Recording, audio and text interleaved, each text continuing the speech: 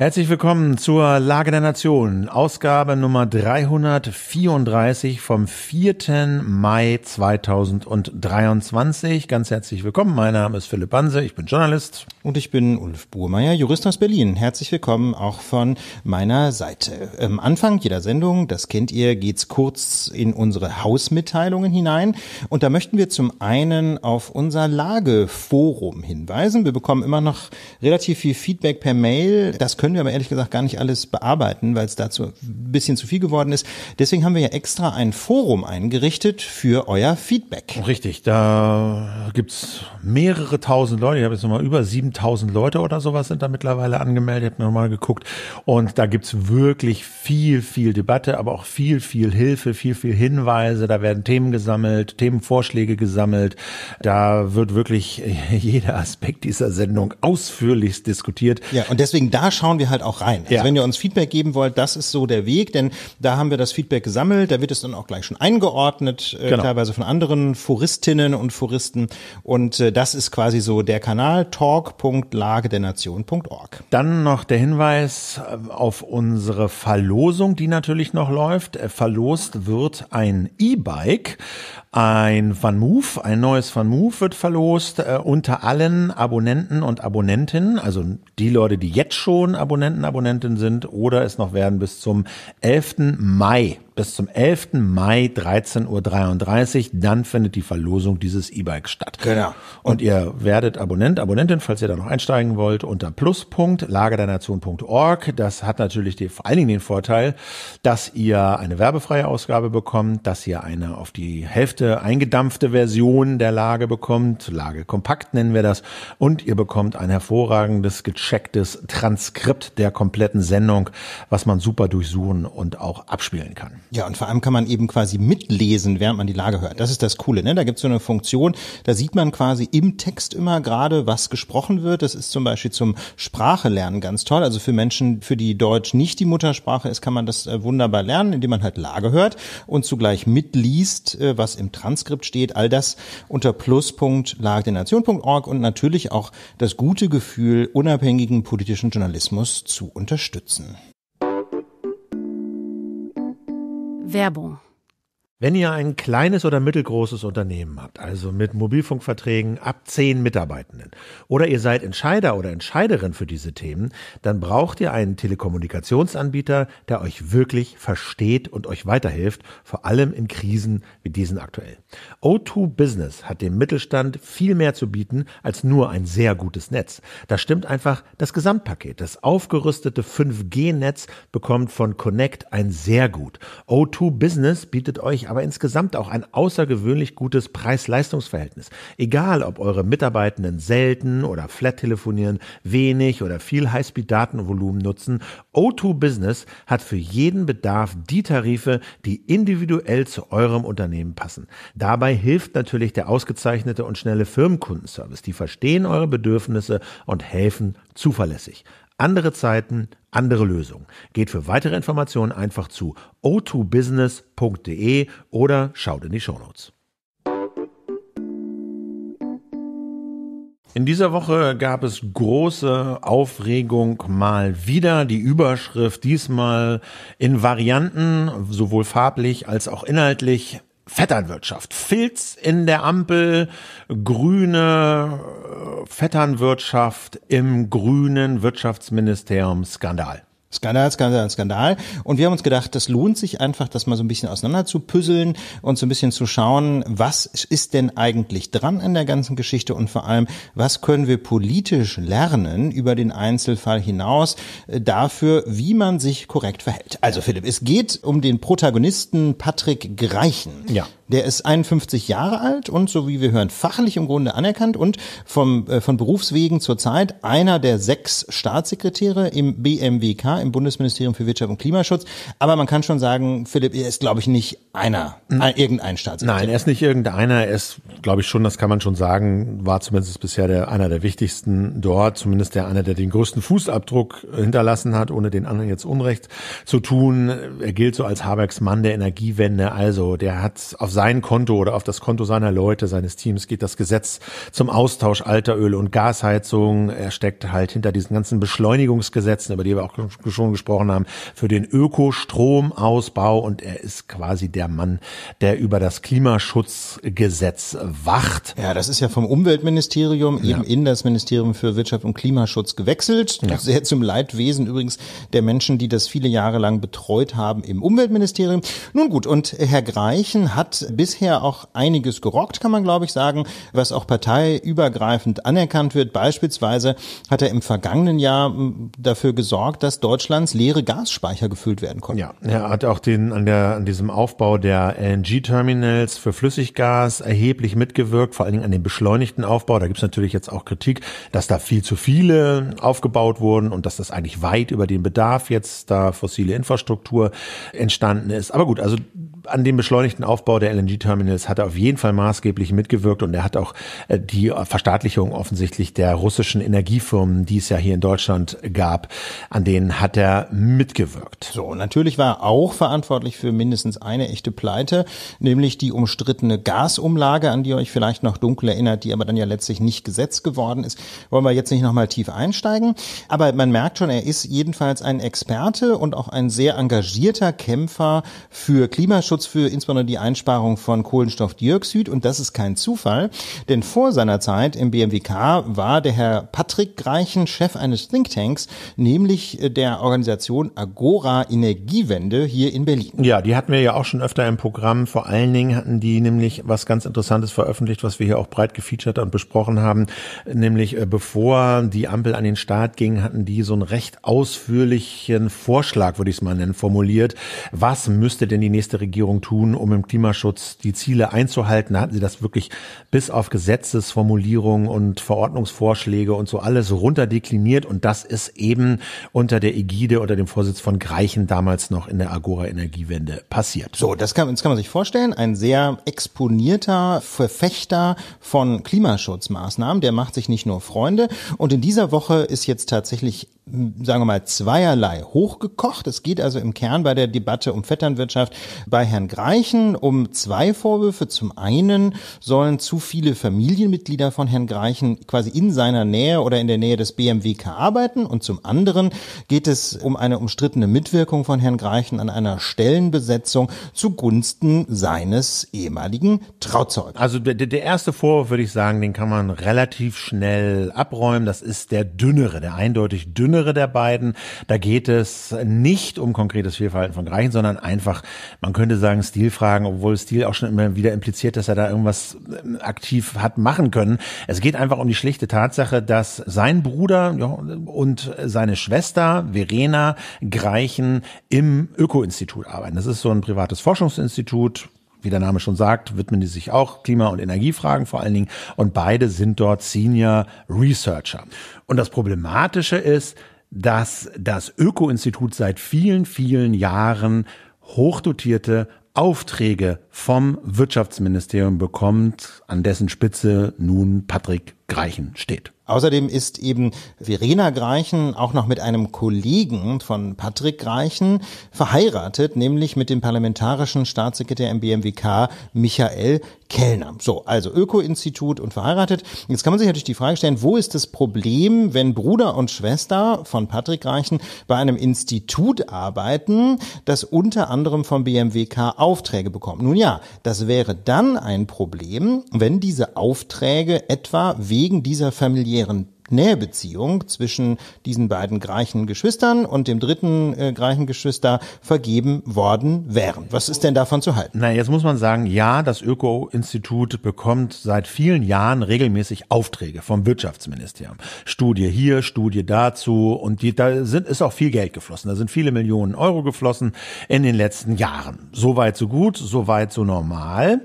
Denn die großen Aufträge sind eigentlich an das Öko-Institut geflossen unter dem vorherigen Wirtschaftsminister von der CDU, nämlich Minister Altmaier. Und unter der Ampel sind diese Aufträge des Ministeriums an das Öko-Institut laut SZ sogar zurückgegangen. Tja, also mit anderen Worten, ja, da gibt es eine Nähebeziehung, aber nein, die hat nicht etwa dazu geführt, dass das Öko-Institut bevorzugt worden wäre. Im Gegenteil, wenn überhaupt, steht das Öko-Institut unter dem grünen Minister schlechter da als unter dem CDU-Minister vorher. Ja, dazu kommt noch, das gehört auch dazu, dass Verena Greichen nicht nur jetzt am Öko-Institut arbeitet, sondern die wurde auch vom Wirtschaftsministerium in den sogenannten Nationalen Wasserstoffrat berufen. Das ist also so ein Experten, Expertinnengremium, die halt darüber beraten und Tipps geben, wie Wasserstoff, grüner Wasserstoff vor allen Dingen in Deutschland vorankommen könnte. Und da sitzt sie auch drin. Aber auch in diese Position wurde sie nicht etwa unter Habeck berufen, sondern noch von dessen Amtsvorgänger als Chef des Wirtschaftsministeriums, nämlich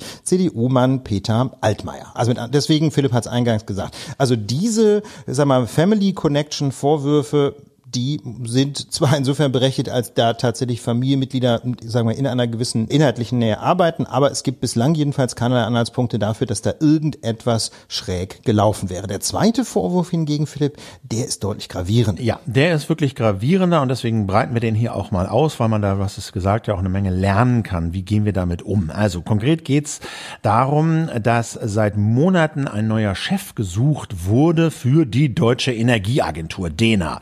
Das wird immer so ein bisschen mit staatlichem Think Tank für die Energiewende umschrieben. Ich glaube, das kann man mal, ist ein bisschen vereinfachend, aber es ist eine weitgehend staatliche Institution, die sich halt mit Energie, Energieversorgung auch beschäftigt und die untersteht halt dem Wirtschaftsministerium. Und dann gab es also in den letzten Monaten eine vierköpfige Findungskommission, die gebildet wurde aus vier Personen. Da waren zwei Staatssekretäre drin, der Greichen eben auch und die Chefin, die andere Chefin der DENA.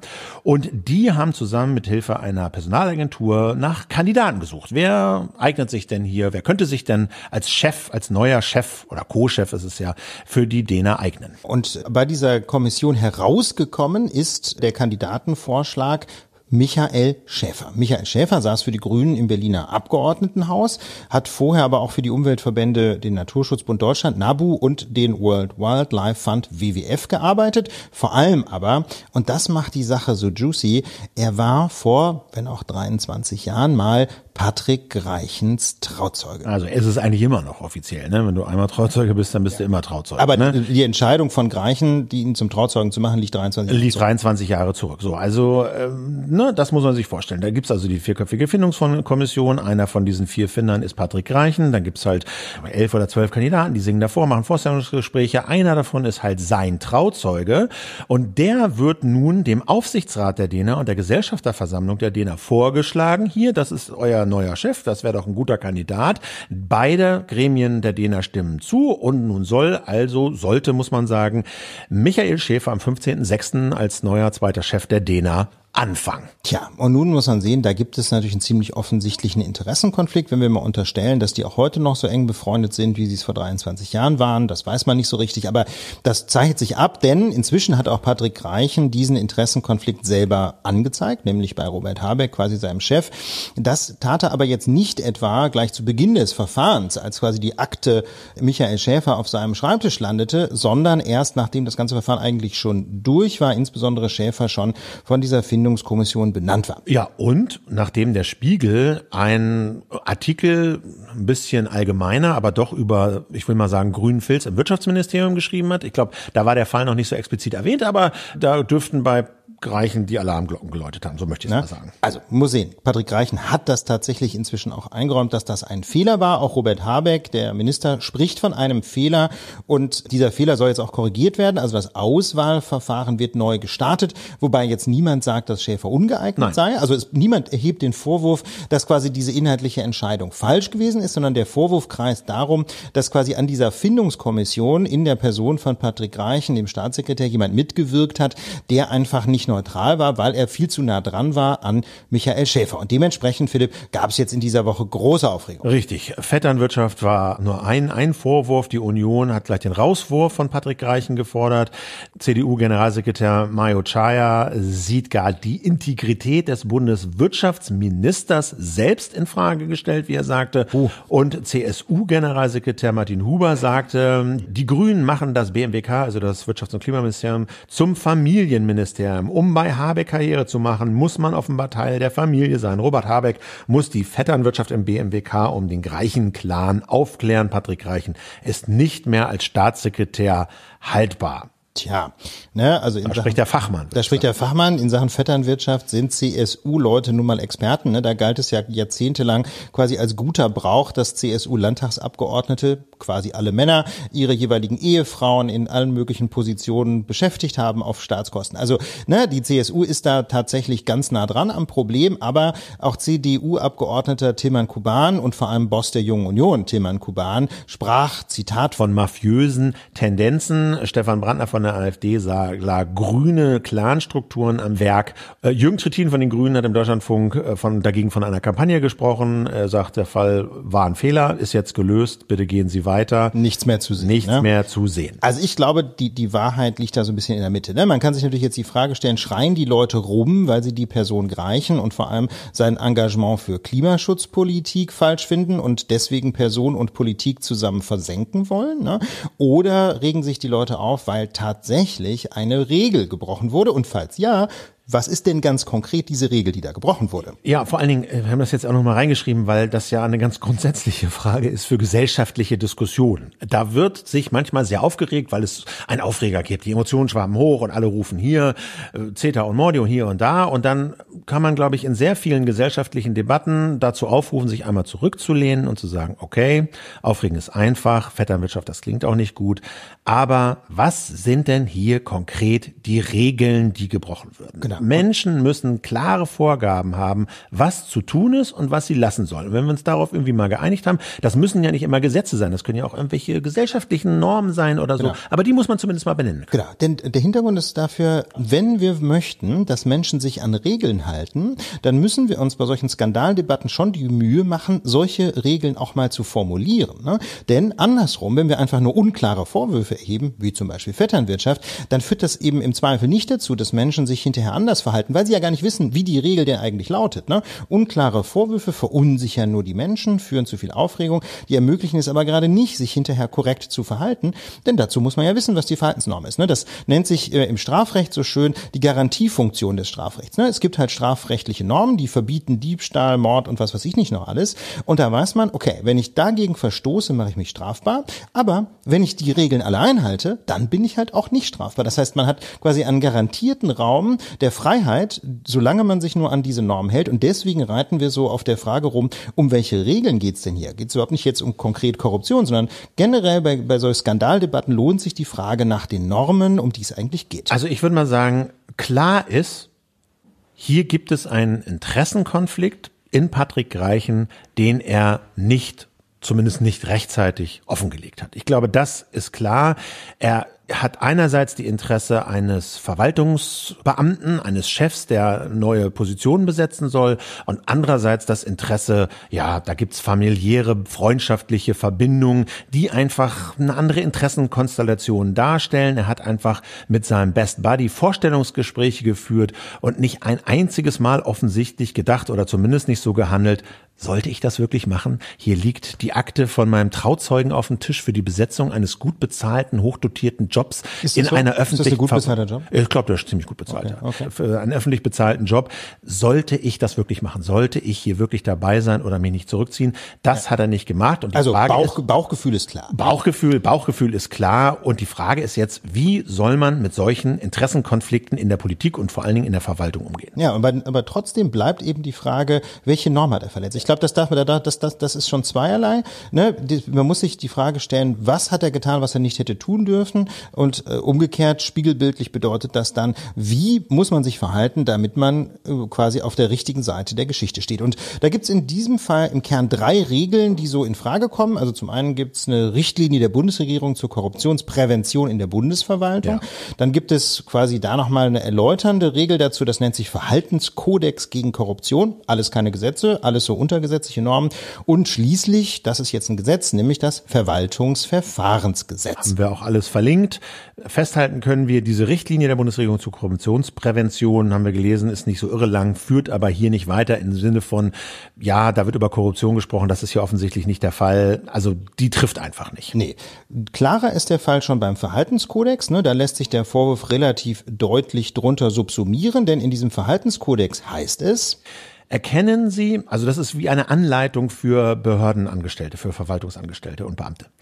Erkennen Sie bei einer konkreten dienstlichen Aufgabe eine mögliche Kollision zwischen Ihren dienstlichen Pflichten und Ihren privaten Interessen oder den Interessen Dritter, denen Sie sich verbunden fühlen, so unterrichten Sie darüber Ihren Vorgesetzten oder Ihre Vorgesetzte, damit angemessen reagiert werden kann. Mögliche Kollision zwischen Ihren dienstlichen Pflichten und Ihren privaten Interessen oder den Interessen Dritter, denen sie sich verbunden ja. fühlen können. Ne? Mögliche Kollision, dienstliche Pflichten, Interessen Dritter. Das, das macht im Grunde völlig klar. Natürlich hat der Trauzeuge ein Interesse daran, den Job zu kriegen. Klar. Das hat er sich nicht beworben.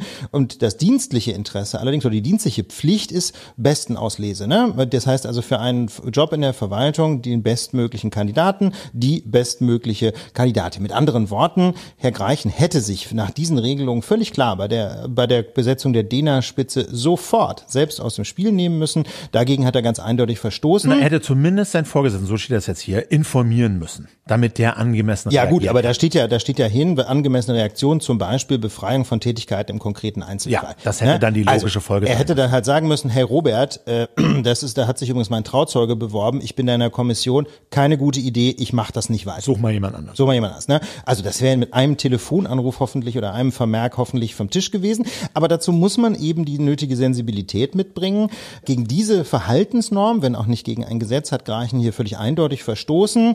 Fragt sich natürlich, was könnte denn die Folge, die Sanktion möglicherweise sein? Ja, um das rauszufinden, habe ich mal bei Norman Löckel angerufen. Der ist Fachmann ähm, für diese Fragen bei Transparency International Deutschland, also einer NGO, einer Nichtregierungsorganisation, die sich Transparenz auf die Fahnen geschrieben hat, um solchen ähm, Problemen auf die Spur zu kommen. Und Norman Löckel sagt auf die Frage, was müsste denn hier die Sanktion eigentlich sein für Patrick Reichen? Das ist die Aufgabe des Ministers zu entscheiden. In jedem Fall sollte er eine äh, disziplinarische Abmahnung bekommen, denn das kann eigentlich nicht sein. Er müsste darüber informiert sein. Und natürlich sollte er nochmal explizit auf diese Regeln hingewiesen werden. Das gilt übrigens nicht nur für ihn. Das gilt auch für die parlamentarischen Staatssekretäre, für die es offiziell überhaupt keine Vorgaben gibt. Da muss man kurz so sagen, es gibt halt in dem Ministerium vier beamtete, verbeamtete Staatssekretäre und zwei parlamentarische Staatssekretäre, Staatssekretärinnen. Und der, der, der große Unterschied ist in diesem Fall halt hier die wenigen und schwammigen Regeln, die es gibt für diese Fälle, Interessenkollision, Korruption, die gelten halt nur für die vier verbeamteten Staatssekretäre, von denen Patrick Reichen einer ist. Für diese parlamentarischen Staatssekretäre, so zumindest die Auskunft von Transparency International, gibt es de facto keinerlei Regel. Ja, Hintergrund ist, die parlamentarischen Staatssekretäre sind, wie der Name schon sagt, Parlamentarier, also Mitglieder des Deutschen Bundestages, die außerdem noch äh, so einen Staatssekretärsjob haben im Parlament, äh, aber eben nicht als Beamte, sondern die Idee ist so ein bisschen, die Exekutive und die Legislative enger aneinander zu koppeln. So. Aber das war es noch lange nicht. Also Verstoß gegen diese, diesen Verhaltenskodex ist das eine. Jetzt kommt das Verwaltungsverfahrensgesetz ins Spiel. Verwaltungsverfahrensgesetz, das ist das Bundesgesetz, das regelt, wie Verwaltungsbehörden eine bestimmte Frage entscheiden, also wie sie einen Bebauungsplan aufstellen oder eben auch wie sie eine Stelle besetzen, wie in diesem Fall in dieser DENA-Kommission. Und das Verwaltungsverfahrensgesetz, das beschäftigt sich unter anderem mit der Frage der Besorgnis der Befangenheit, ja. in Paragraph 21. Nämlich, und hier heißt es in Absatz 1, liegt ein Grund vor, der geeignet ist, Misstrauen gegen eine unparteiische Amtsausübung zu rechtfertigen, so hat, wer in einem Verwaltungsverfahren für eine Behörde tätig werden soll, den Leiter der Behörde oder den von diesem Beauftragten zu unterrichten und sich auf dessen Anordnung der Mitwirkung zu enthalten. Also auf Deutsch, liegt ein Grund vor, der geeignet ist, Misstrauen. Also das ist wirklich eine relativ niedrige Latte eigentlich. Ne? Wenn ein Grund dafür da ist, dass Misstrauen entstehen könnte in die unparteiische Amtsausübung, dann muss die Person die an diesem Verwaltungsverfahren beteiligt ist, Vorgesetzten oder einen von dem Vorgesetzten der Vorgesetzten Beauftragten Menschen informieren. Ja, nun muss man sehen, es gibt so ein bisschen Zweifel, in welcher Weise genau dieses Gesetz hier greift, weil beamtenrechtlich nämlich gar nicht so ganz einfach ist, ob der Greichen als Staatssekretär überhaupt einen Vorgesetzten hat, ob Habeck dienstrechtlich gesehen sein Vorgesetzter ist. Das konnten wir jetzt kurzfristig nicht klären, aber klar ist auch, er hätte auf jeden Fall eben den Minister fragen können oder die Person, die als Antikorruptionsbeauftragte des BMWK tätig ist. Da wird es sicherlich irgendwen geben, der damit äh, dafür zuständig ist. Also da hätte es schon Wege gegeben. Aber man muss sich ja vor allem die Frage stellen, ob Greichen denn jetzt eigentlich befangen wäre im Sinne dieses Gesetzes. Und wir haben jetzt nicht direkt eine gerichtliche Entscheidung gefunden zu dem Fall äh, des Verwaltungsverfahrensgesetzes, aber es gibt natürlich parallele Regelungen zur Besorgnis der Befangenheit auch in allen möglichen Prozessordnungen, unter anderem auch in der Zivilprozessordnung. Und dazu hatte das Oberlandesgericht München vor etwa zehn Jahren mal den, über den Fall eines Richters zu entscheiden, bei dem der Anwalt einer der Parteien in einem Zivilrechtsstreit, also wo sich zwei streitende Parteien gegenüberstanden, Trauzeuge gewesen. Also zwei Parteien, vor dem Landgericht. Beide haben einen Anwalt und der eine Anwalt war zufällig Trauzeuge gewesen des Richters. Und da sagt das Ober Oberlandesgericht in München völlig klar, eine Freundschaft, ja, also Freundschaft, die über eine bloße Bekanntschaft, man grüßt sich, hinausgeht und ihren Ausdruck sogar darin findet, dass man Trauzeuge war, ist mit einer Verwandtschaft vergleichbar, sagt das ORG. Und außerdem weist es darauf hin, dass es ja nicht darum geht, ob der Richter oder bei 21 Verwaltungsverfahrens Gesetz die Verwaltungsmitarbeiterin, der Verwaltungsmitarbeiter tatsächlich befangen ist, sondern es geht allein um den Anschein. Ja, denn, sagt das Oberlandesgericht, es ist der anderen Partei nicht zuzumuten, darauf zu vertrauen, dass eine unzulässige Einflussnahme schon unterbleiben ja, werde. Die, da reicht also die reine Sorge aus, dass es eine Befangenheit sein könnte, um zu sagen, geht nicht. Und das ist ja derselbe Geist, der auch aus Paragraph 21 genau. Verfahrensgesetz, ja, genau Verwaltungsverfahrensgesetz spricht. Wenn es einen Grund dafür gibt, der geeignet ist, Misstrauen zu säen, genau. dann gehen schon die roten Lichter an. Genau. Und mit anderen Worten, auch da muss man sehr deutlich sagen, sagen, auch nach den Maßstäben von Paragraph 21 des Verwaltungsverfahrensgesetzes hätte Patrick Greichen sich aus dem Spiel nehmen müssen. Ja. Und was ist denn jetzt die Lehre? Ne? Also man kann, glaube ich, mal festhalten, ja, es gibt Regeln, ja, zumindest für die verbeamteten Staatssekretäre und sowieso für alle anderen Verwaltungsmenschen in den Behörden auch, aber die sind schon doch recht schwammig und auch unverbindlich, so Richtlinien und irgendwelche Kodizes und, und, und so so richtig Gesetzescharakter haben die zumindest auf Bundesebene nicht. Ja, also ich finde, ich finde, das, das kann man generell so sagen. In diesem Fall würde ich sagen, ist, ist, der, ist die Sache spätestens durch 21 Verwaltungsverfahrensgesetz relativ klar. Aber wenn jetzt der nicht einschlägig wäre und wenn es nur um diesen Verhaltenskodex ginge, dann würde ich auch sagen, da bräuchte es mehr Regelungen. Und das ist ja auch die Forderung von Transparency International, ne, die eben sagen, diese Kodizes, die müssten alle mal in Gesetzesform gegossen werden. Nicht immer hat man so quasi den glücklichen Fall, dass es schon ein Gesetz gibt, das den Fall geregelt. Ja. Ähm, Bei den Ländern, das sagen Sie, in vielen Bundesländern sei das der Fall, weil da die Kommunen noch mit den Ländern verbandelt werden müssen und deswegen hätten viele dieser Interessenskonflikt- und Korruptionsregelungen in den Bundesländern oft schon Gesetzescharakter. Also da gibt es durchaus Vorbilder. Ja, ein Spezialproblem in diesem konkreten Fall ist, dass es ja gar nicht so richtig um Korruption geht, ja. sondern es geht eigentlich vor allem darum, wie man eine Stelle zu besetzen hat. Und da findet unser Ansprechpartner bei Transparency International ganz unabhängig auch vom konkreten Fall das Stellenbesetzungsverfahren in Deutschland viel zu intransparent ablaufen. Denn Stellenbesetzungsverfahren und insbesondere auch das Ergebnis, zu dem diese Verfahren kommen, die würden kaum objektiv geprüft, so jedenfalls die Kritik. Denn die Öffentlichkeit bekommt in aller Regel ja gar keinen Einblick in die Bewerbung. Also man erfährt nicht, wer sich bewirbt für ein öffentliches Amt. Schon mal gar nicht erfährt man die Bewerbungsunterlagen. Das wäre ja auch total spannend. Welche Zeugnisse haben die Leute denn eigentlich und was für Beurteilungen oder so? Und man sieht auch öffentlich nicht das Ranking. Ne, die einzige Möglichkeit, so ein Besetzungsverfahren zu kontrollieren, ist die sogenannte Konkurrentenklage. Also wenn eine Konkurrentin um die Stelle, die die Stelle nicht bekommen hat, hinterher hingeht und zum Beispiel das Verwaltungsgericht anruft. Aber dazu muss man eben ne, immerhin eine Klage Klage anstrengen. Das muss mit einem Risiko. Mit einem Risiko. Vorstrecken und wenn du verlierst, dann musst du zahlen und so. Ja, also vor allem gilt das ja als, oft als Ende der Karriere. Es hängt so ein bisschen von dem sozialen Kontext ab, aber es gibt so bestimmte Bereiche, wo man das einfach nicht macht. Ne? Das war lange in der Justiz auch so, dass man einfach nicht nicht um Stellen sich kloppte vor dem Verwaltungsgericht. Das ist so in den letzten Jahren so ein bisschen eingerissen. Es gab da in Berlin auch eine Reihe von Besetzungsverfahren, die extrem streitig waren. Aber das war lange Zeit ein totales No-Go. Das tat man eben einfach nicht. Und es wurde einem vor allem von der Dienstbehörde auch extrem zum Nachteil angerechnet. Also wer, wer, das lief tatsächlich so. Man musste warten, bis man angerufen wird. Ah, wir haben hier eine Ausschreibung. Bewerben Sie sich da doch mal. Und wer sich bewarb, ohne angerufen worden zu sein, der kriegt den schwarzen Strich auf die Personalakte. Das hat natürlich nie irgendwer offiziell gesagt, aber so lief das halt in der Praxis ab in ganz vielen Behörden. Und deswegen ist das, also der, der Bottomline ist, es gibt einfach bislang keine effektive Kontrolle von Besetzungsverfahren, aber Transparency International sagt, das könnte auch besser laufen. Ja, Sie sagen, das gibt erprobte Verfahren, wie man die Qualität von Besetzungsverfahren eben deutlich verbessern kann. Das sagte uns Norman Löckel von Transparency International. Er sagt, wir können da durchaus vom Ausland lernen, denn dort gibt es zum Teil eine eigene Behörde, die für die Besetzung von Stellen in der Verwaltung zuständig ist. So eine Behörde würde erst einmal Transparenz schaffen, indem sie offenlegt, wie die Verfahren ablaufen. Das läuft im Ausland auch über anonymisierte Listen, wo man schauen kann, wer wie in den jeweiligen Auswahlverfahren abgeschnitten hat. Diese Behörden ermöglichen auch eine einfache Überprüfung von Auswahlverfahren, sodass man sich nicht auf langwierige Gerichtsprozesse einlassen muss. In anderen Worten, es lässt sich für die Öffentlichkeit, aber auch für die Betroffenen sehr leicht erkennen, ob tatsächlich eine leistungsorientierte Einstellung erfolgt ist oder ob tatsächlich eher parteipolitische Kriterien eine Rolle gespielt haben oder gar sogar rein persönliche Interessenverknüpfung. Ja, stellen wir uns das nur vor bei Patrick Reichen und dieser DENA-Besetzung, wenn es da jetzt öffentliche Listen gäbe, es wäre klar, wer ausgeschrieben, es wäre klar, wer für die Öffentlichkeit, wer hat sich da beworben, dann wäre das vielleicht schon viel schneller aufgeflogen oder gar nicht erst so weit gekommen.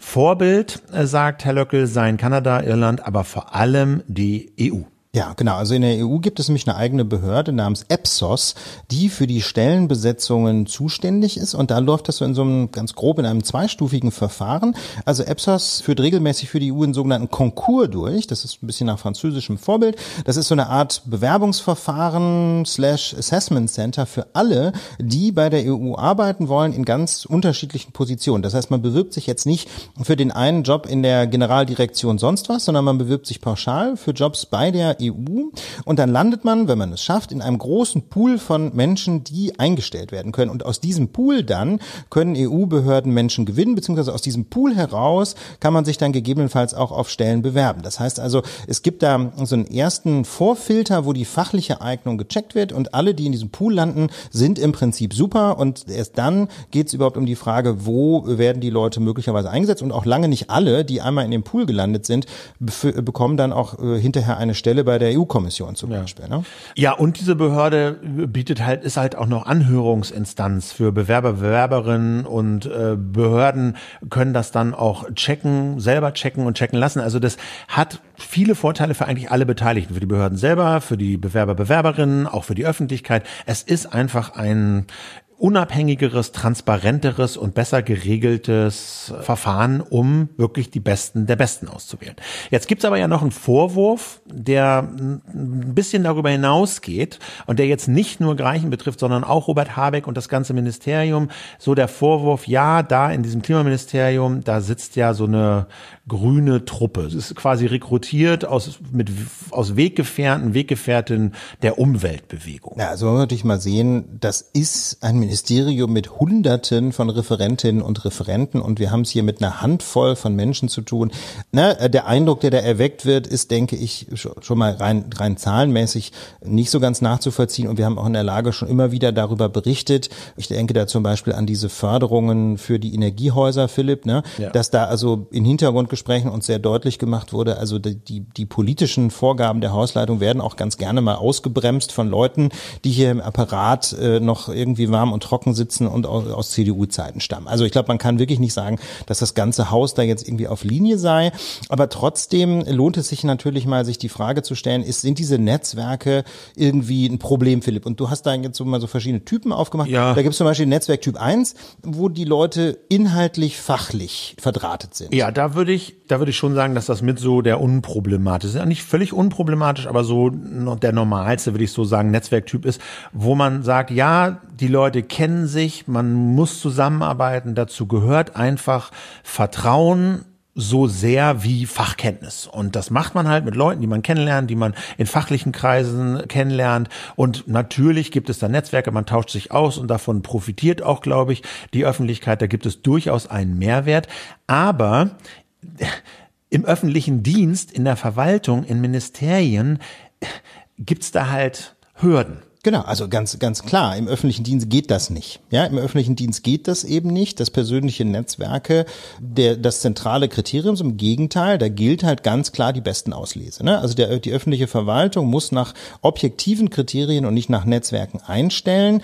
Jedenfalls bei den allermeisten Stellen, da darf die persönliche, darf die persönliche Nähe keine Rolle spielen. Aber es gibt auch Ausnahmen und da glaube ich, ist diese, diese Geschichte mit den, mit diesen persönlichen Netzwerken tatsächlich auch mal in Ordnung. Das sind nämlich die sogenannten Führungspositionen, ja, also Stichwort politische Beamte. Das sind also Beamte ab Abteilungsleiter aufwärts zum Beispiel. Die können nämlich jederzeit in den einstweiligen Ruhestand versetzt werden, wenn das Vertrauensverhältnis zur Hausspitze ähm, zerrüttet ist. Zerrüttet ist, ja. genau. Ne? Und das ist dann auch für die, für die Leute hart, ne? Ohne Begründung jederzeit, aber auf der anderen Seite bei voller Bezahlung bis zur Pension. Ne? Insofern, also fallen weich, fallen, fallen, fallen weich, ne? Aber klar, das Argument ist, Minister, Ministerin braucht einfach Vertrauenspersonen in seinem, in ihrem Umkreis und deswegen können halt Abteilungsleiter aufwärts die Leute mit Bekannten besetzt werden, Vertrauten besetzt werden.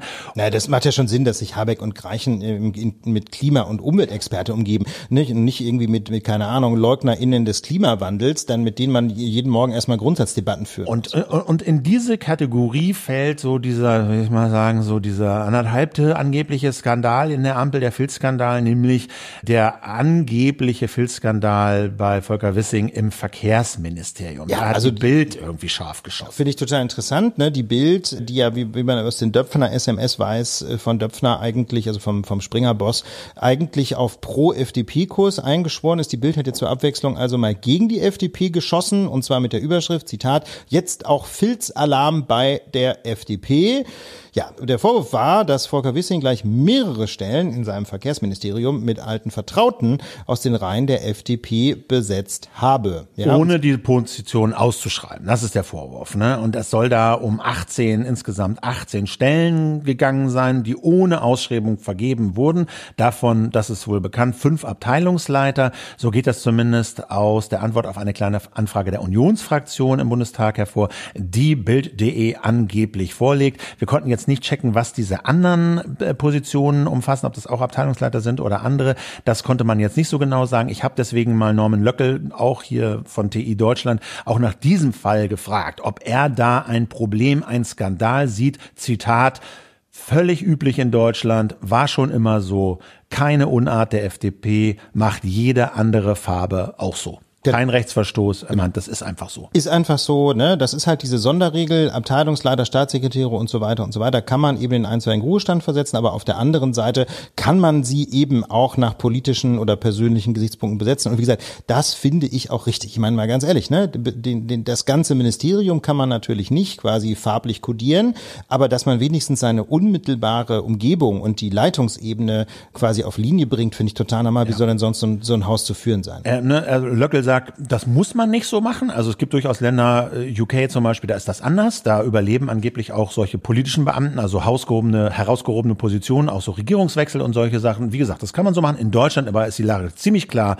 Politische Beamte, Abteilungsleiter aufwärts, darf man ohne Ausschreibung besetzen. Also, Deswegen. Also, ja, im UK wird das übrigens auch schon seit Jahrzehnten als Problem gesehen. Ne? Also falls jemand zufällig diese wunderschöne BBC-Satire-Serie aus den 80ern kennt, Yes Minister. Ja. Ich will das nicht tief vertiefen, aber guckt euch das mal an, gibt es bestimmt irgendwo in diesem großen, weiten Internet.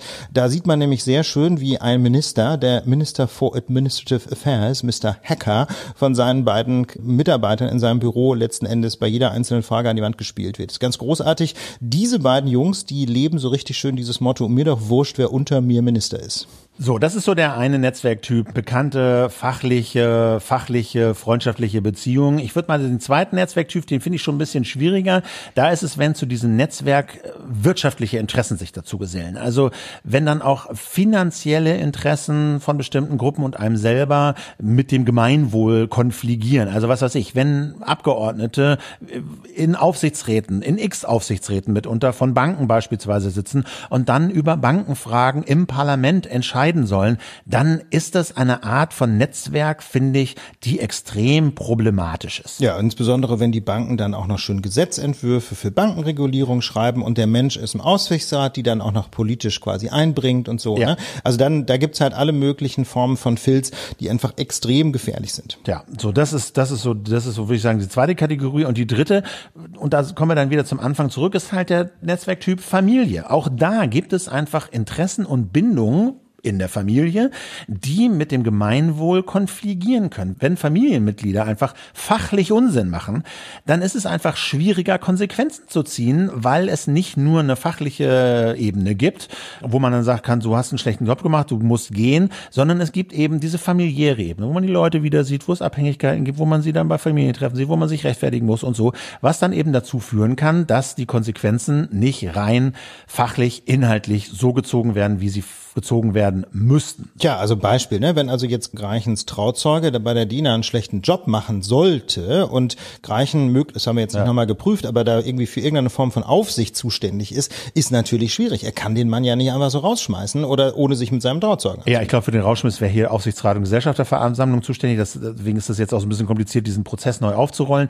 Aber trotzdem, das ist im Prinzip das, das Fatale an solch familiären Beziehungen und Interessenskonflikten. Ja. Wie ist jetzt aber das Fazit Fazit in Sachen Greichen? Also ich denke, ähm, Greichen hat ähm, hier gegen das Verwaltungsverfahrensgesetz verstoßen, nach allem, was wir wissen, aber er hat auf jeden Fall das politische Gespür vermissen lassen und diese Antikorruptionsregelungen, die es ja gibt, auch wenn sie nicht direkt gesetzlich sind, verletzt. Damit hat er einfach einen großen politischen Fehler gemacht. Er hat nämlich politischen Gegnern Munition geliefert gegen ihn persönlich, aber das nutzt man dann natürlich auch, um die Gesetze zu zerpflücken, für die eben Herr Greichen zuständig ist, insbesondere klimaschützende Gesetze wie die die Regelungen zum Heizungsaustausch ja. und andere Gesetze. Ne? Und mal ganz ehrlich, das ist halt auch ein riesiges politisches Problem für Robert Habeck, eben als Chef von Herrn Greichen, denn für ihn ist ja seine persönliche Glaubwürdigkeit eigentlich fast seine wichtigste Waffe, sein wichtigstes Pfund, mit dem er wuchern kann. Er kann eben relativ gut reden und er stellt sich auch hin und versucht, die Menschen zu überzeugen und dafür ist eben Glaubwürdigkeit unabdingbar. Ne? Ja. Und wenn er die verspielt, hat er einfach ein Problem. Ja, ich glaube, es ist aber auch wahr, dass die Gegner Königreichens diese Vorlage natürlich jetzt nutzen, um ihren ohnehin sehr aktiven Kampf gegen die Klimapolitik neu zu intensivieren Rücktrittsforderungen links und rechts haben wir gesagt und ich finde, dass ich glaube, das ist auch eben gefährlich für Habeck, weil jetzt, wenn es, wenn er, wenn es wirklich dazu führt, dass er jetzt zurücktreten muss oder dass zum Beispiel dann sein Heizungsgesetz jetzt, äh, wie das äh, im Parlament liegt, so nicht durchkommt oder völlig zerpflückt wird, dann, dann wird das für ihn einfach gefährlich, weil es ja letztlich für ihn auch darum geht, werde ich Kanzlerkandidat oder nicht. Ne? Wir haben in was zwei Jahren Wahlen, er will Kanzler werden, glaube ich, davon kann man mal ausgehen. Und wenn es ihm jetzt gelänge, dieses Heizungs Heizungsgesetz durchzubringen und eine wirklich unkomplizierte, gute Förderung auf den Weg zu bringen, wo alle sagen, ja super, dann stünde er da in diesem Rennen einfach relativ gut da. Ja. Während wenn das Ding kaputt geht, weil sein Staatssekretär jetzt hier was verbockt hat, dann ist das schon fürs Klima sowieso, aber auch für ihn persönlich und seine Karriere echt ein, ziemlicher Dämpfer. Ja, genau. Und der Vergleichen zeigt natürlich auch ne, so die diversen Wenden zum Schutz des Klimas, die so anstehen, von Mobilitätswende bis eben zur Heizungswende, die stehen auf einem relativ wackeligen Fundament. Ne? Das sind eben nur relativ wenige Leute, die da, die da die nötige Expertise mitbringen, die da diese Gesetze entwerfen und durchboxen. Und wenn natürlich jetzt die Opposition sich auf diese Leute einschießt und damit auch noch Erfolg hat, ja, ja, wegen solcher, ich sag mal, Anfängerfehler wie hier von Greichen, dann schadet das dem Anliegen des Klimaschutzes natürlich massiv. Werbung das Risiko, Opfer eines Cyberangriffs zu werden, ist aufgrund der aktuellen politischen Lage wahrscheinlich so hoch wie nie gerade. Aber zum Glück steht ihr dieser Gefahr nicht hilflos gegenüber. Ihr könnt Daten sicher und verschlüsselt austauschen und zwar ohne großen administrativen Aufwand betreiben zu müssen. Ganz einfach und unkompliziert geht das mit FTAPI, der Plattform für einen sicheren Datenaustausch. Über ein Outlook-Add-in könnt ihr Daten in jeder Größe sicher empfangen und versenden. Wer sich das jetzt kompliziert vorstellt, dem sei versichert, FTAPI hat das so intuitiv gestaltet, gestaltet, dass das meiste davon wirklich unauffällig im Hintergrund einfach passiert. Damit werden eure E-Mails super sicher und DSGVO-konform. Zudem lassen sich mit FTAPI sensible Daten einfach und ebenso sicher in sogenannten Datenräumen über den Browser teilen. Nur ihr bestimmt, wer auf eure Daten Zugriff hat. FTAPI Datentransfer einfach sicher gemacht. Mehr Infos dazu unter lage.link-ftapie oder direkt unter ftapie.com-lage. Ftapie schreibt man übrigens F-T-A-P-I. Zu unserem nächsten Thema. Äh, wir hatten ja hier schon ausführlich sogar über die Verkleinerung des Bundestags berichtet. Das Ding ist ja jetzt auch durch und gesetzt, wenn auch nicht ganz unumstritten, aber es ist Gesetz. Der Bundestag wird verkleinert und ehrlich gesagt war ich so ein bisschen der Meinung, damit ist das Wahlrecht jetzt aber auch reformiert und das Thema erstmal gegessen bis auf weiteres. Und dann äh, fiel aber letzte Woche ein äh, Abschlussbericht einer Bundestagskommission zur Reform des Wahlrechts ins Internet. Und da war ich ein bisschen überrascht, muss ich ehrlich sagen. Ich dachte, das Ding wäre durch. Tja, äh, turns out, die Größe des Bundestags und natürlich auch die Frage, wer überhaupt so reinkommt in den Bundestag, das ist nur eins der vielen Probleme des Wahlrechts. Da gibt's noch eine ganze Menge mehr Fragen, die sich so beantworten lassen auf verschiedenste Weise bei der Frage, nämlich wie repräsentiert man eigentlich ein Wahlvolk von über 80 Millionen Menschen in einem Berliner Parlament? Und da dachten wir uns, da laden wir doch mal eine geschätzte Kollegin ein, um das ein bisschen ausführlicher zu diskutieren. Ja, und zwar haben wir gedacht, äh, holen wir uns mal in die Sendung Sandra Schulz, äh, geschätzte Kollegin vom Deutschlandfunk, moderiert da die Info am Morgen. Sehr hörenswerte, informative Sendung jeden Morgen. Außerdem ist sie ähm, Mitglied im Team vom Podcast Der Tag. Nebenbei ist sie auch Juristin. Ganz herzlich willkommen, Sandra, in der, in der Lage. Hallo, ihr beiden. Danke für die Einladung. Hat mich sehr gefreut. Sag mal, warst du auch so überrascht von dem Bericht? Hast du auch in der Wahrnehmung gelebt, dass das Wahlrecht jetzt eigentlich reformiert ist? ging mir ganz genauso. Ich habe mich spontan gefragt, was diese Kommission jetzt eigentlich beruflich macht, weil ich tatsächlich auch dachte, also dieser dicke Batzen, diese Reform des Wahlrechts, die ist ja jetzt tatsächlich beschlossen und verkündet. Im Frühjahr habt ihr ja auch sehr genau berichtet und auch analysiert. Aber tatsächlich hat diese Kommission, die im vergangenen Jahr eingesetzt worden ist von der Ampelkoalition, hm, hat noch eine ganze Reihe anderer Themen auch richtig so per Arbeitsauftrag auf dem Zettel gehabt.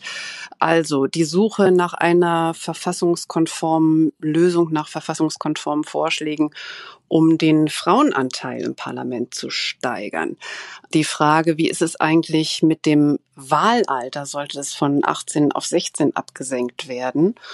Und tatsächlich bearbeitet hat die Kommission jetzt auch noch die Frage, wie oft der Bundestag eigentlich neu gewählt werden sollte. Ich finde, das ist schon auch ein re sehr relevantes Thema, weil wir natürlich hier auch vor dem Problem stehen. Es gibt wahnsinnig viele Themen, von denen vor allem jetzt junge Menschen betroffen sind oder sein werden, also Altersvorsorge, Digitalisierung, Bildungspolitik, aber vor allen Dingen natürlich Klima. Gleichzeitig aber haben Stimmen, also bei Wahlen, Wahlstimmen junger Menschen immer weniger Gewicht, weil unsere Gesellschaft ja immer älter wird und immer mehr Alte bestimmen also also ja die Welt in 30, 40 Jahren, wie sie dann aussieht, wenn die Alten, die jetzt ihre Stimme abgeben, aber schon längst tot sind.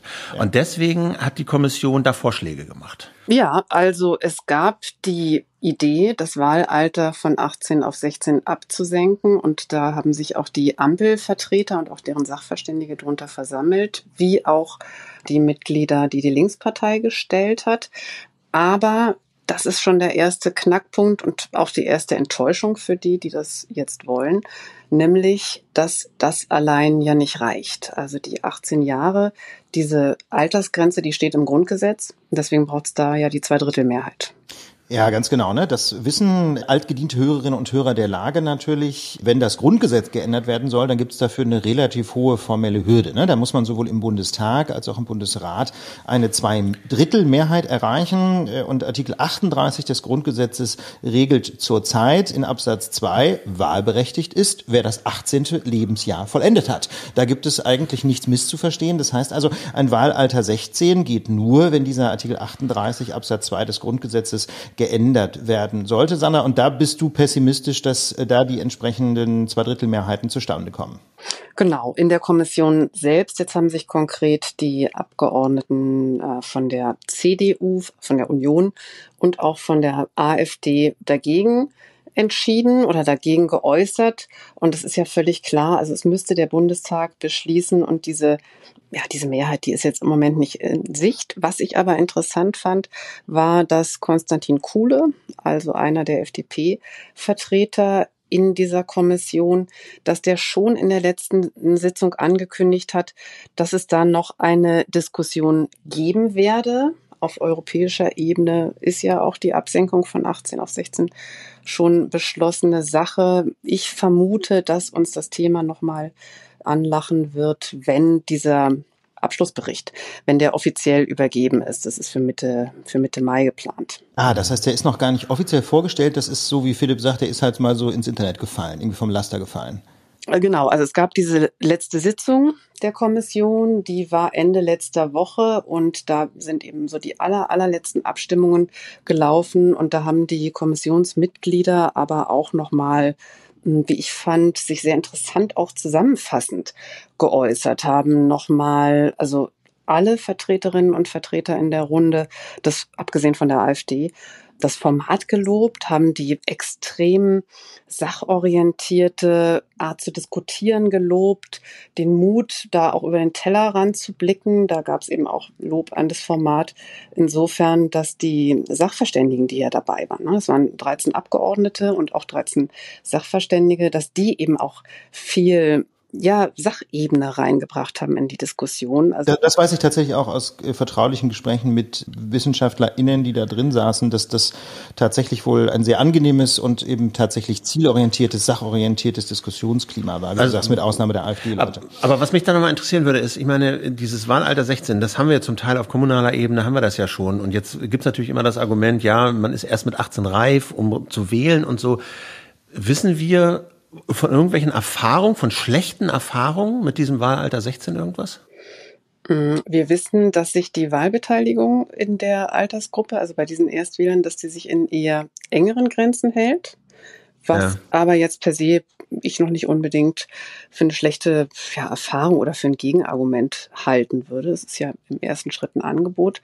Und ich weiß nicht, wie es euch geht. Bei mir schwingt, also wenn ich diese Debatte höre, Absenkung des Wahlalters von 18 auf 16, bei mir schwingt immer der Gedanke mit, warum denn eigentlich nur auf 16? Was ist denn mit den anderen Minderjährigen eigentlich? Ja, ich glaube, da spielt eine große Rolle, dass man sich dann immer die Frage stellt, können diese Menschen denn überhaupt schon für sich verantwortlich entscheiden? Also ich meine zum Beispiel Kaufverträge oder andere wirtschaftliche Verträge sind ja im Prinzip erst äh, rechtlich bindend ab dem Alter 18. Es gibt natürlich auch da bestimmte Sonderregeln für jüngere Menschen, wann auch die wirksame Verträge schließen können. Das blenden wir jetzt mal aus. Aber jedenfalls so die Grenze zur Volljährigkeit ist eben das 18. Leben Lebensjahr. Und ich glaube, da gibt es dann immer so ein bisschen die Sorge, dass jüngere Menschen politische Entscheidungen gar nicht verantwortlich treffen könnten, angeblich. Aber Sandra, es gibt da ja auch noch andere Modelle, wie man die Repräsentation von Menschen unter dieser Schwelle von 18 Jahren möglicherweise verbessern könnte. Ne? Stichwort Familienwahlrecht. Genau, das ist diese Diskussion. Ich verfolge das so ein bisschen hobbyartig seit einiger Zeit, weil ich finde, dass da einfach also vom, vom demokratischen Impact eine ganze Menge drin steckt. Denn äh, wenn wir überlegen, Minderjährige haben wir ja gar nicht so wenige in der Republik, sind mehr als 14 Millionen und ja auch mehr als 15 Prozent überhaupt der Staatsbürgerinnen und Staatsbürger. Ja, die Minderjährigen sind ja schon auch Staatsbürgerinnen und Staatsbürger dieses Landes. Und dieses Familienwahlrecht, das wird manchmal auch, oder diese Diskussion wird manchmal auch genannt, Wahlrecht von Geburt an. Das ist eine ziemlich alte Diskussion, schon eine ziemlich Spezialdiskussion, würde ich sagen, die aber schon auch im parlamentarischen Raum immer wieder auch ihren Niederschlag äh, gefunden hat. Aber wie soll das denn funktionieren? Erklär doch mal, also als Dreijähriger mhm. kann man jetzt ja schlecht ins Wahllokal Aber tigern. minderjährig heißt 0 bis 18? Ja, von was? Geburt an, das ja. ist die Idee. Mhm. Genau, aber ein Dreijähriger kann jetzt ja schlecht ins Wahllokal tigern. Wie soll das denn konkret funktionieren, dass, äh, dass eine Person, die, die jetzt eben, wenn man ehrlich ist, weder sich selber eine Meinung bilden kann, noch rein physisch ins Wahllokal gehen kann? Bleiben wir bei deinem Beispiel, ja, der kleine Tim mit mit sechs Monaten. Ne? Wie kann der denn sein Wahlrecht von Geburt an ausüben? Ehrliche Antwort, wahrscheinlich gar nicht, beziehungsweise über eine Stellvertreterlösung. Und da denken wir alle natürlich sofort an die Eltern. Also diese Vorschläge für ein Familienwahlrecht, für ein Wahlrecht an Geburt an, die zielen darauf ab, die Eltern stellvertretend, also im Interesse ihrer Kinder diese Wahlentscheidung so lange treffen zu lassen, bis die das selbst können. Stellen sich natürlich tausend ah. Nachfragen, schon allein dieses, bis sie es selbst können. Da hat dieser eine parlamentarische Vorstoß, der jetzt auch schon ein paar Jahre alt ist, 2008 hat es den gegeben, mehr als 40 Parlamentarier, interessanterweise aus allen Fraktionen, der hat gesagt, bis zu dem Zeitpunkt, an dem das Kind, der Minderjährige, der Nachwuchs sagt, wisst ihr was, liebe Eltern, danke, dass ihr bis jetzt für mich gewählt habt. Jetzt würde ich das lieber gerne selbst machen. Und ich gehe dann jetzt mal eben und lasse mich eintragen ins Wahlregister. Gibt natürlich auch da die Idee von starreren Altersgrenzen oder auch den, wie ich finde, ziemlich weitgehenden Vorschlag, bis zum 18. Lebensjahr machen das dann die Eltern. Finde ich eine Vorstellung, die auch mir nicht so sonderlich lebensnah erscheint. Aber also da gäbe es dann viele Detailfragen zu klären, logischerweise. Mhm, aber das würde bedeuten, also eine Familie, zwei Erwachsene, drei Kinder, die hätten dann de facto fünf Stimmen. Statt zwei. Statt ne? zwei und drei davon sind auf wie auch immer irgendwie delegiert und die Kinder können sich das dann wie auch immer irgendwann zurückholen, entweder automatisch oder per Akklamation sagen, ich will jetzt selber. Die Vollmacht ist hier, ist hier beendet. Ich meine, du, ich habe von, muss ich ehrlich sagen, ich habe von diesem Konzept noch nie was gehört. Und die Frage ist natürlich jetzt ein bisschen, also wenn die Union, wenn die Union schon Probleme hat, Leute ab 16 mhm. wählen zu lassen, ohne jetzt der Union da zu viel äh, ins Programm zu schreiben, würde ich denken, wenn Einjährige wählen sollen, haben sie damit noch viel größere Probleme. Was ist denn, was, hast du da ein Gefühl aus diesem Report, aus diesem Empfehlung? Also offensichtlich empfiehlt diese Kommission ja, was, darüber nachzudenken, das einzuführen oder was schreiben die da rein? Ah, das muss ich jetzt der Ehrlichkeit halber dazu sagen. Die Kommission sagt dazu gar nichts. Ach so. Also die Kommission hat sich jetzt wirklich nur beschäftigt mit der Absenkung von 18 auf 16. Okay. Und yes. genau, das, das ist wirklich eine wichtige Klarstellung. Im Parlament gibt es nicht den Hauch einer Chance, dass sowas mehrheitsfähig ist oder wird. Wie gesagt, der letzte Vorstoß 2008, da waren es 40 Abgeordnete und auch dafür bräuchte man ja die Verfassungsändernde, also die Zweidrittelmehrheit.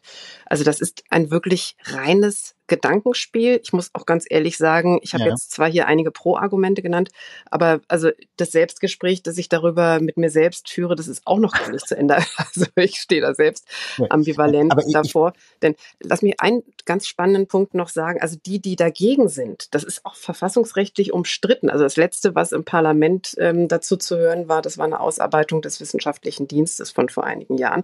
Und die blättern das eben ganz interessant auf dass eben das auch wirklich verfassungsrechtlich umstritten ist. Also die Dreh- und Angelpunkt ist dann die Gleichheit der Wahl. Philipp, du hast es ja gesagt, genau dieser Punkt, dass Eltern dann ja de facto mehr Stimmen bekommen würden.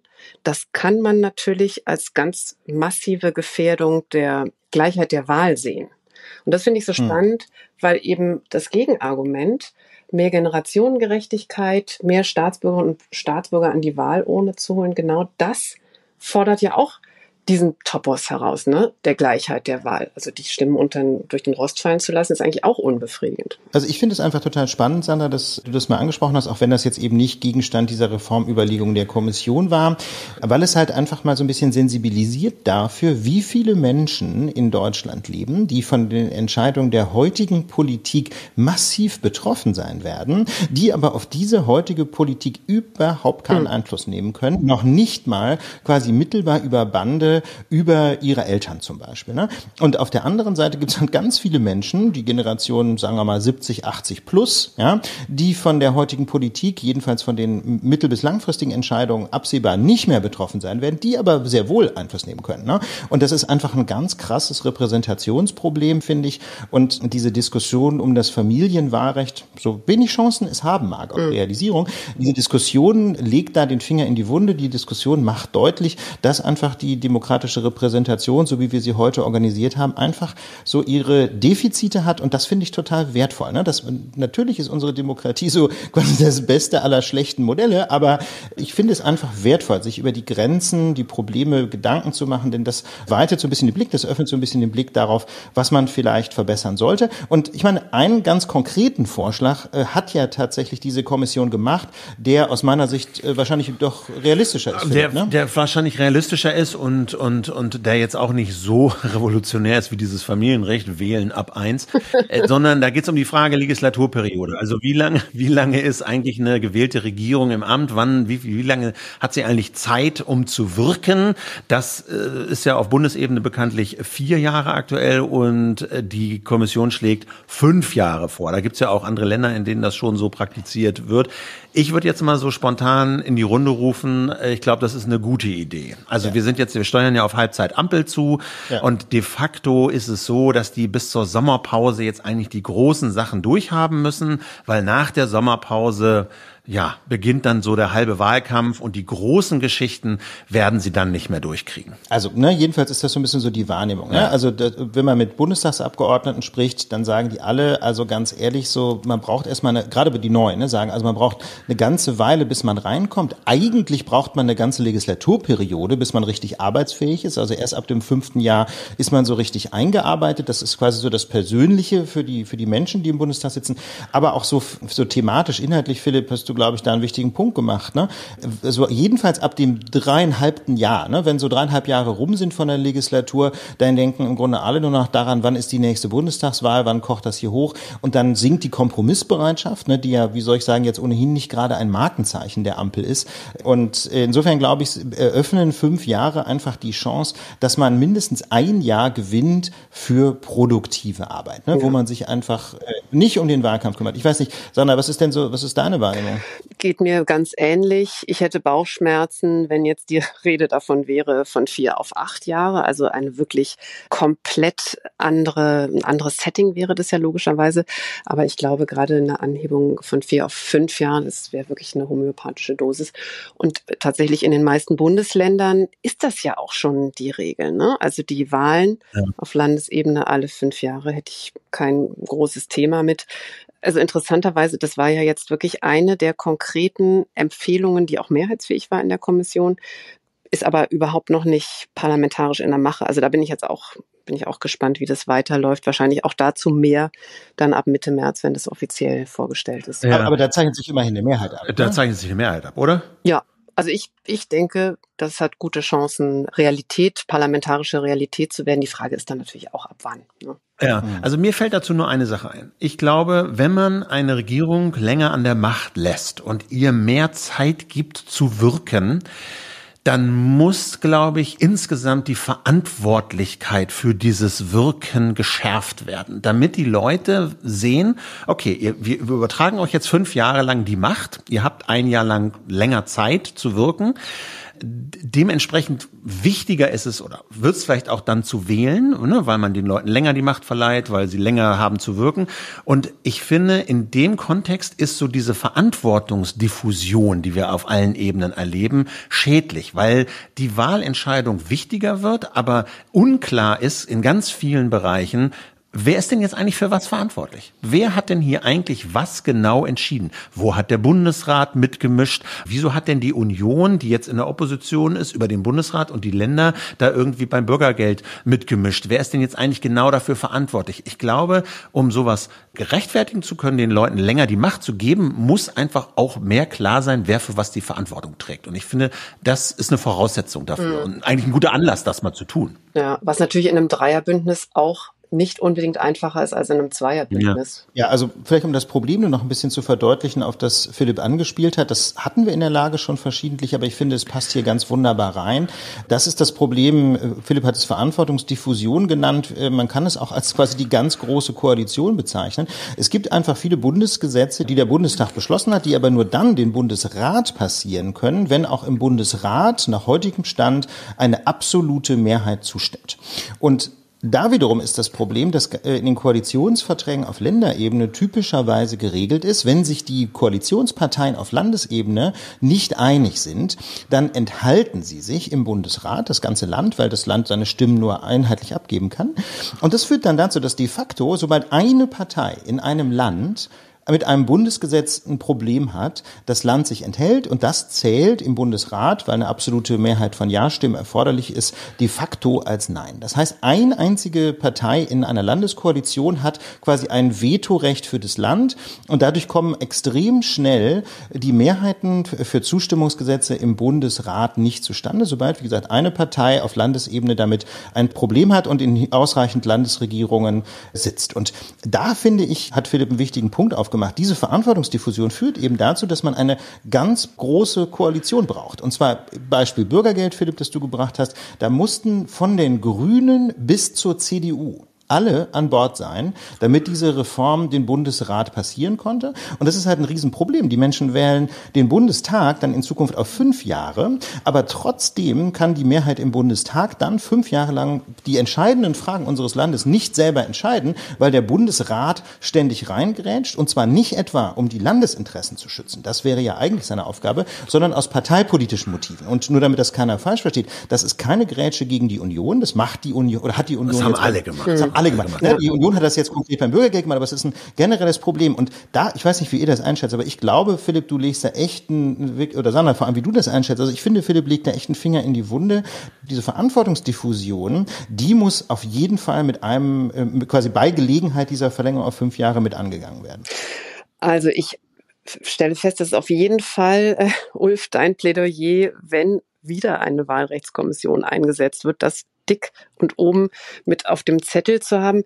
Ich muss generell sagen, dass ich nicht besonders zuversichtlich bin, dass man in einer Demokratie, dass man das schafft, das Thema Verantwortungsdiffusion einzuengen und zurückzudrängen. Das ist ja eben eigentlich ja auch Teil der Idee, dass, dass alle mitbestimmen, dass alle gehört werden. Und gerade das, was wir jetzt ja viel erleben. Also nach dieser langen Zeit äh, CDU angeführter Regierung, dass im Prinzip immer, wenn jetzt im Moment eine Vertreterin oder ein Vertreter der Ampelpartei den Mund macht, aufmacht, sich zu einem Sachthema äußert. Volker Wissing zum Verkehr. Erster Satz ist immer, ja, ich habe alles in sehr unbefriedigender Lage vorgefunden. Thema Klimaschutz. Robert Habeck sagt eigentlich immer vorweg, ja, wenn man das Thema mal bei Zeiten angegangen wäre, jetzt weiß ich zum Beispiel in dieser Heizungsdiskussion. Und ich glaube, also das Thema und natürlich auch das Riesenthema Abhängigkeit von Russland und der ganze Russlandkurs der Vorgängerregierung ist ja, spielt ja quasi eigentlich auch in jedem Interview, das wir dazu führen im Deutschlandfunk, spielt ja auch eine Rolle. Ich wäre da nicht so zuversichtlich, dass wir da das, was ihr Verantwortungsdiffusion nennt und was ich in anderem Kontext auch einen absolut sinnvollen Bezug finde. Ich weiß nicht, ob man das so, ob man das so eingeengt, zurückgedrängt bekommt. Also, ich meine, die Beispiele, die du nennst, sind doch schon ganz gute Beispiele. Da ist die Verantwortung relativ klar. Es ist relativ unbestritten, wer dafür verantwortlich war, dass wir bei dem Windausbau nicht so vorangekommen sind, wie das aus heutiger Sicht notwendig gewesen wäre. Es ist relativ klar, wie es zustande gekommen ist, dass wir in diese Abhängigkeit von Russland gekommen sind. Ich glaube auch nicht, dass man die Verantwortungsdiffusion komplett los wird und dass jede Entscheidung immer auf eine Person zurückzuführen sein soll. Aber ich glaube, dass man an bestimmten Schrauben, und das, was Ulf skizziert hat, ist eine davon, nachjustieren kann, um Verantwortung klarer zu markieren und dort Leute mitreden zu lassen, wo sie auch gewählt wurden. Und hm. wenn man jetzt zum Beispiel im Bundesrat sagt, bei diesen Zustimmungsgesetzen, der Bundesrat muss nicht mit absoluter Mehrheit zustimmen. Wir brauchen keine absolute Mehrheit der vertretenen Länder oder der Stimmen der Länder, sondern es reicht eine relative Mehrheit. Es reicht ja. einfach, äh, die Mehrheit der abgegebenen Stimmen zu haben. Und wenn sich dann ein Bundesland enthält, weil da, weiß ich nicht, die Union in der Opposition im Bundestag ist, die Union Union äh, in der Regierung in Baden-Württemberg oder so, wenn die sich dann enthalten, dann ist die Enthaltung eine Enthaltung und kein und wenn, Nein. Und, und, und kein ja. Nein, weil es einfach trotzdem reicht, wenn eine Mehrheit der Stimmen der Länder für dieses Gesetz sind. Ja, also das finde ich tatsächlich finde ich ein super Vorschlag, mhm. zu sagen, man, man, wenn, man, wenn man geht an diese vier Jahre ran, macht daraus fünf und sagt dann zugleich, im Bundes, der Bundesrat muss nur noch mit, mit relativer Mehrheit zustimmen, damit Enthaltungen wirklich Enthaltungen sind und kein Nein. Also ich, Sandra, ich habe ich habe vernommen deine, deine Bedenken, wenn es darum geht, die Verantwortungsdiffusion zu bekämpfen. Aber es gibt ja noch ein zweites Problem, äh, zu dem diese bisherigen hohen Hürden im Bundesrat führen, nämlich den sogenannten Reformstau. Ne? Es ist ja nun nicht so, dass wir in Deutschland quasi immer ganz vorne vor der Welle schwimmen, wenn es darum geht, unser Land an Herausforderungen der Zukunft anzupassen, ob das Digitalisierung ist oder was auch immer. Die Lage ist voll davon. Und dieser Riesenreformstau hat eben auch damit zu tun, dass es so wahnsinnig schwer ist, Dinge durch den Bundesrat mhm. zu bekommen. Also du hast völlig zu Recht darauf hingewiesen, generell glaube ich, ist es in der Demokratie immer schwer, Leute davon zu überzeugen, Macht abzugeben. Aber hier geht es ja, geht es ja nicht darum, dass Leute sagen, ich habe weniger Einfluss, sondern es geht ja darum, die Bundestagsmehrheit zu stärken. Und jede Partei hat ja die Hoffnung, mal in der Bundestagsmehrheit zu sitzen. Und mal ganz ehrlich, ich glaube, für die Ampelleute war das mega frustrierend, dass sie einen schönen Bürgergeldreformvorschlag machen und der einfach dann von der Union bis zur Unkenntlichkeit verwaschen wird. Und das kennt die Union andersrum genauso. Und deswegen, da, da habe ich die Hoffnung, ja, dass die Unionsleute dann einfach sagen, okay, wir geben unsere aktuelle Blockademacht im Bundesrat ein Stück weit auf, aber dafür können wir dann halt auch regieren, wenn wir im Bund wieder am Bruder sind. Ja, absolut spannender Punkt. Ich wollte euch noch ansprechen auf den Frauenanteil hier in dieser Runde. Der ist ja mit 33 Prozent Komma Periode deutlich niedriger als der in der Bevölkerung was ja die große Gemeinsamkeit ist, auch zum Bundestag. Da wollte ich jetzt den Bogen nochmal schlagen zu dem. Aber ah, im, Bund, im, Bundestag, im Bundestag, ich habe die Zahl jetzt nicht nochmal nachgeguckt, aber so, so wahnsinnig viel über 30 sind es da auch nicht, ne, gerade, oder? 34,7 Prozent. Aha. Ich wollte ganz elegant den Bogen schlagen, tatsächlich nochmal zu diesem letzten wichtigen Punkt äh, dieser Wahlrechtskommission.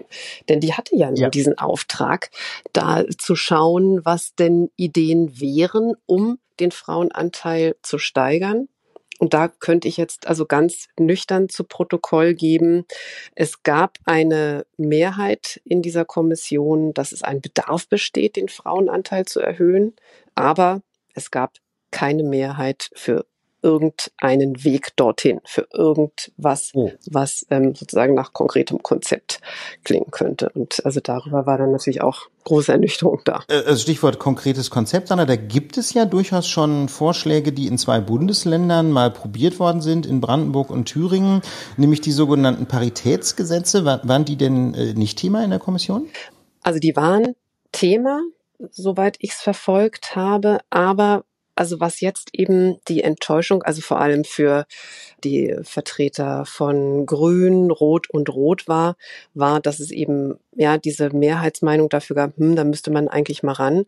Aber also trotz aller guter Arbeitsatmosphäre gab es eben keine Idee, auf die man sich jetzt mehrheitlich hätte verständigen können. Also vielleicht nur noch einmal, dass ja. für die Menschen, die, die mit dem Stichwort Paritätsgesetz noch nicht so viel anfangen können, äh, das bedeutet, dass Wahllisten, Landeslisten für die Bundestagswahl quasi abwechselnd von Menschen männlichen und weiblichen Geschlechts besetzt werden müssen. Das ist so ein bisschen die Idee in der Hoffnung, dass dann unter dem Strich sich der Anteil der Frauen im Bundestag den 50 Prozent wenigstens langsam aber sicher annähert. Ne, man kann damit nicht verhindern, verhindern, dass quasi Direktkandidaturen weiterhin von den jeweiligen Kreisverbänden der Parteien mit einem Geschlecht mehrheitlich besetzt werden. Ja, das kann man dadurch nicht verhindern, aber die Idee war, dass man doch das ein bisschen verbessert. Das haben, wie gesagt, zwei Bundesländer probiert, äh, Brandenburg und Thüringen, die jeweils dann vor ihren Landesverfassungsgerichten damit gescheitert sind. Das muss man sagen. Also es gibt Stellungnahmen von zwei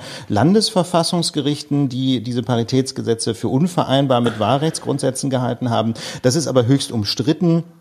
Und äh, deswegen fand ich das eine total spannende Frage, was diese doch ja sehr hochkarätig besetzte Kommission davon halten. Ja, aber der Punkt ist doch, die, die, die Gerichte haben doch nur verboten, dass der Staat vorschreibt, die Parteien müssen. Ach so, ja klar. Ne, ja, ja, klar. Wenn die mhm. Parteien, und das gibt's ja, viele haben das ja gemacht, wenn die Parteien sich selber entscheiden, wir stellen unsere Listen hier paritätisch auf, dann geht das. Ne? Oder? Sehe ich das falsch? Klar, Parteien können das selber Parteien regeln. können das machen. Und, und ja. in unterschiedlicher Form haben das ja inzwischen ja. auch die meisten Parteien, auch die Union hat da inzwischen Regelungen getroffen. Ich habe es nicht mehr genau auf dem Zettel, welche. Ich glaube, die einzige Partei, die da gar nichts macht, ist, ist bislang doch die AfD. AfD ne? Ja, aber mir, ich dachte, mir ging noch gerade durch den Kopf, Sandra, bei, bei dem, was du so sagtest, quasi so die ganz große Koalition in dieser Kommission, also mit allen im Parlament vertretenen Parteien, war zwar der Meinung, in der Mehrheit, ja, sollten wir was machen, können sich aber auch nicht einen Weg einigen.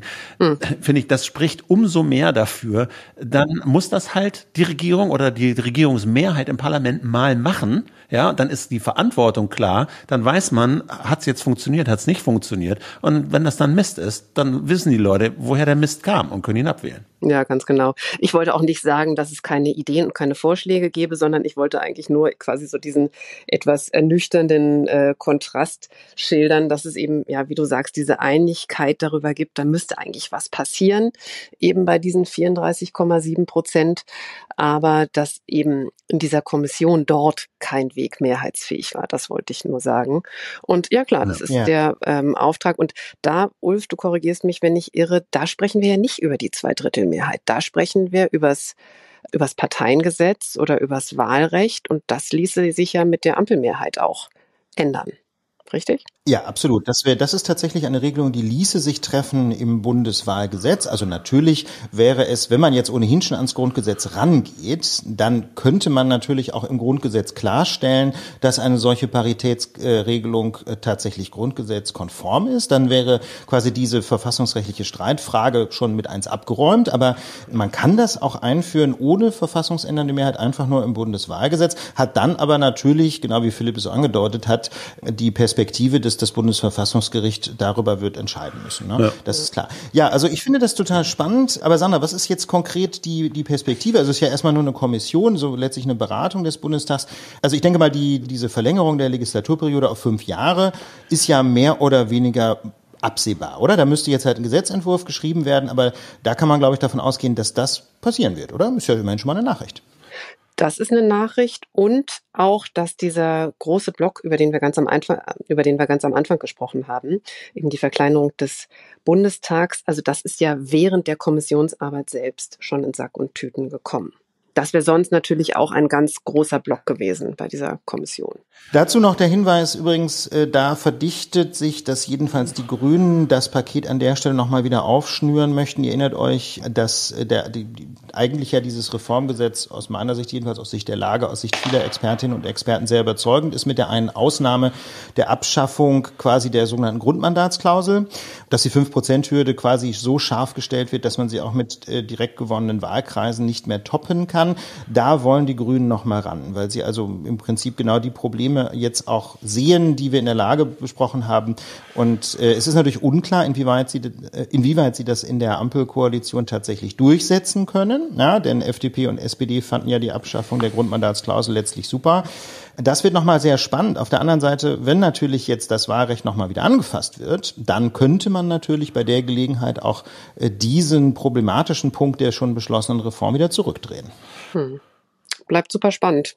Ja, ganz herzlichen Dank, Sandra. Schön, schön, dass du mit dabei warst. Äh, vielen Dank Komm, für unser Gespräch. Können wir, können wir, äh, können wir öfter mal machen, wenn, wenn das deine nice. Zeit zulässt. Ich danke euch ganz herzlich. Hat super Spaß gemacht. Danke. Es ist soweit. Es ist am Start. Es ist vollbracht. Das sogenannte Deutschland-Ticket oder sogenannte 49-Euro-Ticket, wie immer ihr wollt ist am Start. Am 1. Mai ist es losgegangen. Es kostet erstmal 49 Euro, deswegen pro Monat. Deswegen sagen einige, nennt es nicht 49 Euro Ticket, weil das vielleicht nicht so bleiben wird, sondern ja. da eher so eine Preiserhöhung anstehen könnte. Das war so die, das war so, was man so aus dem Verkehrsministerium ja. hören konnte. Ne? Das soll eher teurer werden. Viele Menschen fordern aber auch aus sozialen Gründen, es solle doch vor allem günstiger werden. Aber gut, Deutschland-Ticket ist jedenfalls seit vier, fünf Tagen zu nutzen.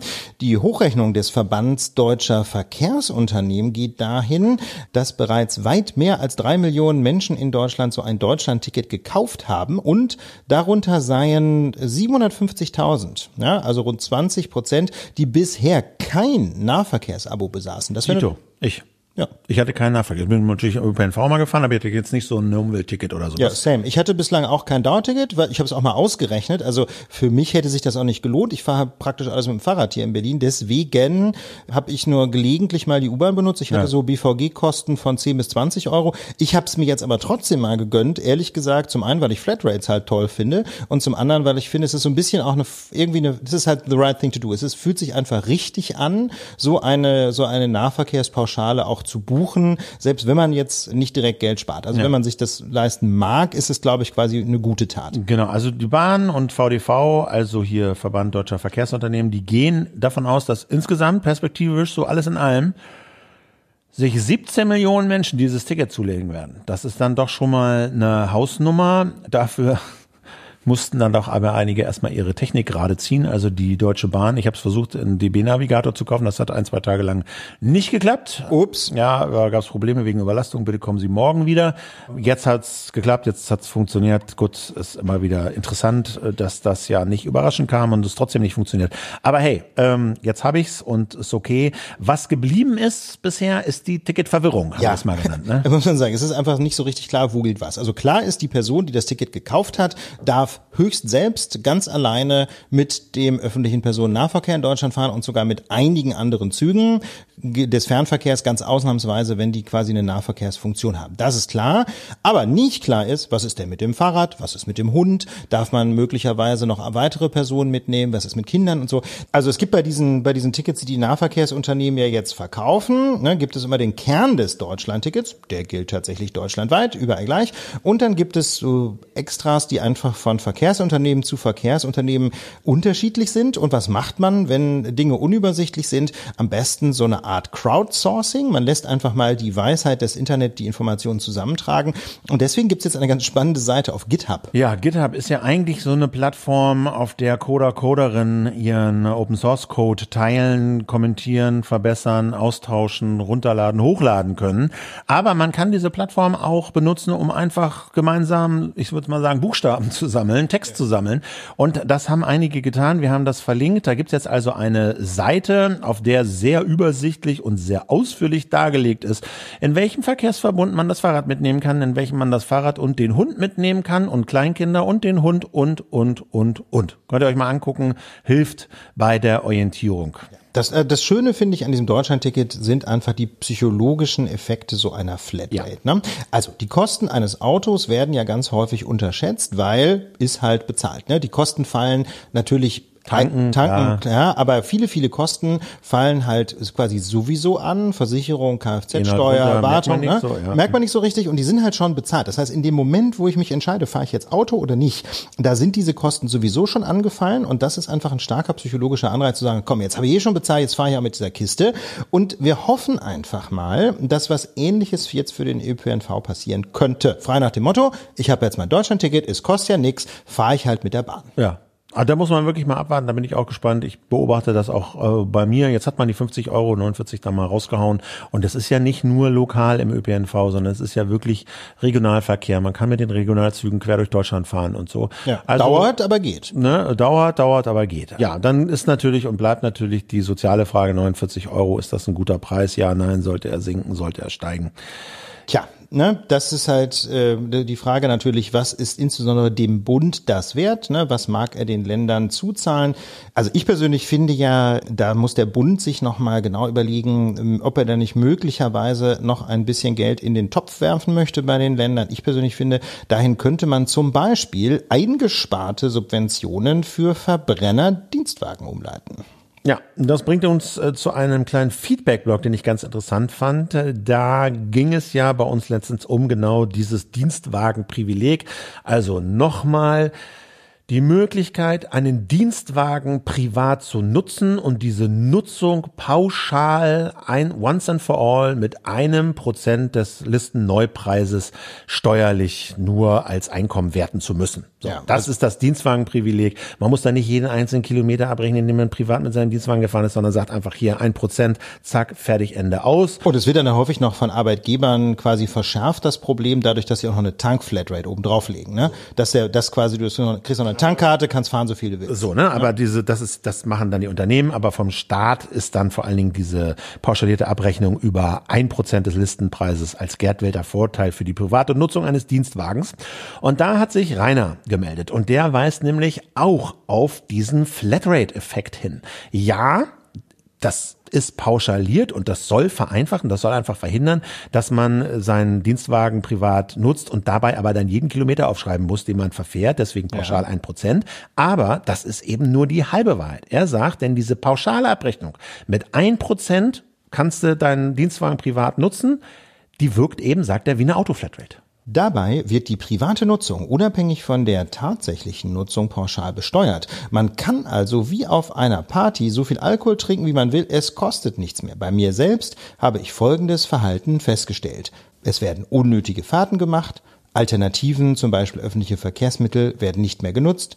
Energiesparende Fahrweise wird oft vernachlässigt. Ja, Auto steht halt vor der Tür. Und Firma zahlt Flatrate, ne? das war jetzt in Reiners Fall so, Ja. ne? weil sonst würde das energiesparende Fahrweise vernachlässigen. Das passiert natürlich nur dann, wenn du auch noch eine Sprit-Flatrate hast. Also das kommt auch noch dazu. Ne? Aber der Effekt ist, dein Auto steht vor der Tür, das ist der Dienstwagen, der ist von der alles Firma bezahlt. bezahlt, Äh, Du sagst ein Prozent, du musst eh ein Prozent sozusagen als Einkommen davon versteuern und dann ist es einfach egal, ob du da mit einem Meter fährst im Monat oder 50.000 Kilometer. Und da ist der Anreiz eben groß zu sagen, komm, ich muss eh die ein Prozent versteuern, jetzt ist das Auto da, fährst du halt. Ja, und dann gab es natürlich eine Reihe von Leuten, die, die sagten, na ja, ähm, eure Argumentation schadet doch tatsächlich dem Mittelstand oder sogar der, der, der Mitte der Gesellschaft und so.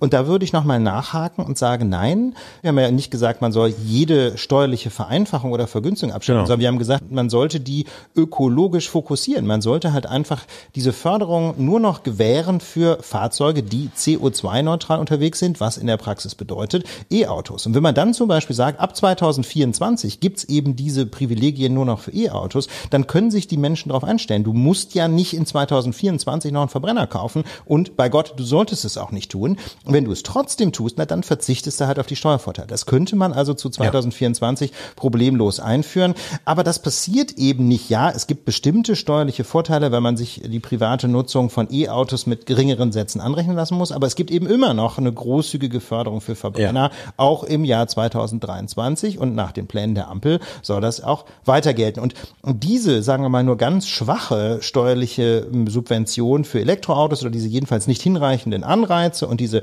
fortbestehenden Anreize, Verbrenner zu kaufen, die haben eben drastische Folgen. Wenn man sich anschaut, wie es denn so um die Quote ähm, der Fahrzeuge bei den Neuzulassungen bestellt ist, ne? zum Beispiel in Norwegen, Ratet mal, wie viel Prozent der neu zugelassenen Autos in Norwegen Elektroautos sind.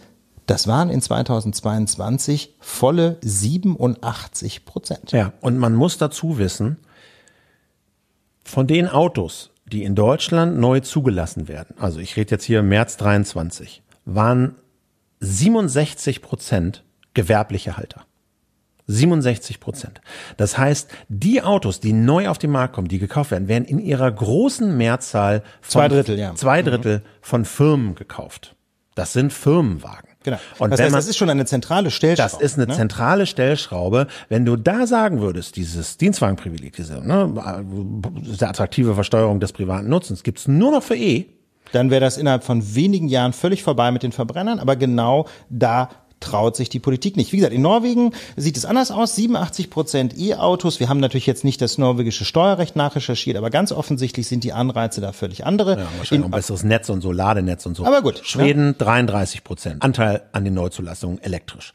Äh, China, Dänemark ein Viertel, 25 Prozent. Genau. Jeweils. In Deutschland hingegen nicht etwa Elektroboom, nein, Verbrennerboom. Anteil der E-Autos im März 2023, bei den Neuzulassungen nur knapp 16 Prozent. Nur gut die Hälfte dessen, was wir in China sehen und überhaupt nicht nennenswert im Vergleich zu den 87 Prozent in Norwegen. Fragt sich, woran liegt das? SZ schreibt, denn bei all den Transformationsbemühungen ist der Anteil an Elektroautos bei den deutschen Herstellern meist nicht einmal zweistellig. Das heißt, das Angebot an Elektroautos bei deutschen Herstellern ist zu niedrig, vor allem im Niedrigpreissegment. Also wenn du ein günstiges Auto, was irgendwie 150, 200 Kilometer Reichweite, um mal schnell so Polo-Klasse oder so. Oder noch- gibt- noch kleiner, Oder noch Fox kleiner, oder so, so, ne? ne? Gibt's fast nichts Tja. von deutschen Herstellern. Ne, da gibt's halt, da gibt's natürlich von Renault gibt's da was und so, aber Aber, aber, Aber auch schwierig, Aber auch schwierig, ne? So, Porsche und so, die verkaufen Verbrenner, als gäbe es keinen Morgen. Die haben gerade wieder ihre Zahlen gemeldet.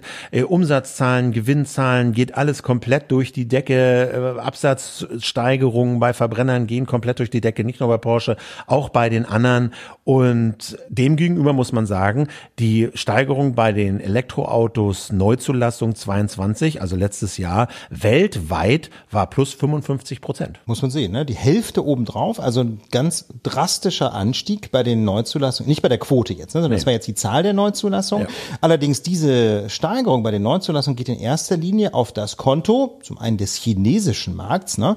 Da hat sich die Zahl der neu zugelassenen E-Autos fast verdoppelt, plus 82 Prozent, und des Marktes in Nordamerika, auch in den Vereinigten Staaten, wo man ja denken könnte, Autoland, unglaublich lange Distanzen, schwierig für E, weit gefehlt, ne? plus 48 Prozent. In Europa hingegen konnten Voll- und Teilelektriker, wie das Automotorsport so schön schrieb, also dann Hybride, lediglich um 15 Prozent zulegen. Ne? Nicht plus 82, nicht plus 48, nein, nur plus 15 Prozent. Und äh, im europäischen Mittel sind bei den Neuzulassungen sogar nur etwa 10 Prozent der Fahrzeuge elektrisch und da gibt es sogar in Europa ein paar echte E-Muffel, die noch schlimmer sind als Deutschland. Ja, Tschechien, Slowakei, solche Leute. Ne? Liegt wahrscheinlich, äh, vermutlich am schlechteren, schlechten Ladenetz. Das ist dann halt dieses Henne-Ein-Problem. Wenn sie nirgendwo laden können, dann kaufen sich die Leute auch kein E-Auto.